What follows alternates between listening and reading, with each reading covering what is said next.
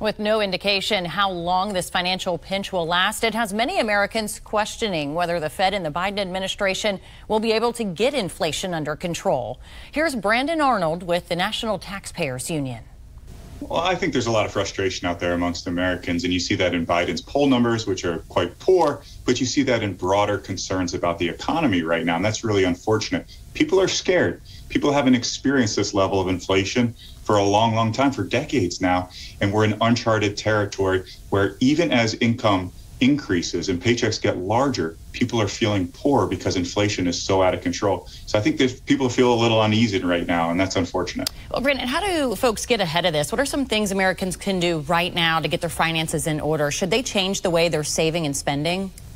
Well, I think they need to plan out their expenses for the long term. They need to budget very, very carefully because inflation is not going away anytime soon. Even with these uh, these actions by the Fed that can slow inflation, we're going to be dealing with inflation for the considerable future. So making sure that you're anticipating higher utility bills, higher gas costs, higher housing costs, higher grocery costs is really, really important and not relying on savings to make extravagant purchases right now. I think now is the time to adopt some level of austerity.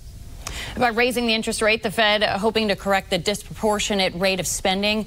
Are there any other avenues out there that the Biden administration can do right now to help lower inflation? Yeah, I think there are a lot of things. Right now, we're looking at an energy crisis of sorts, and increasing domestic energy will go a long way to alleviating prices, as will lower tariffs. Those are taxes on consumers and American businesses. And the biggest thing is really to do no harm. The old Hippocratic oath that doctors implement, right? That means no uh, extravagant public policy proposals, no huge tax and spend proposals that are going to further worsen this problem by spending and, uh, and borrowing far more money than we have to, to, to actually uh, spend uh, in this country right now. Well, today, President Biden called on oil companies demanding that they take immediate action to increase supply and calling them out on their historically high profit margins. Is that enough action from President Biden? I mean, how much control do these companies really have at the pump?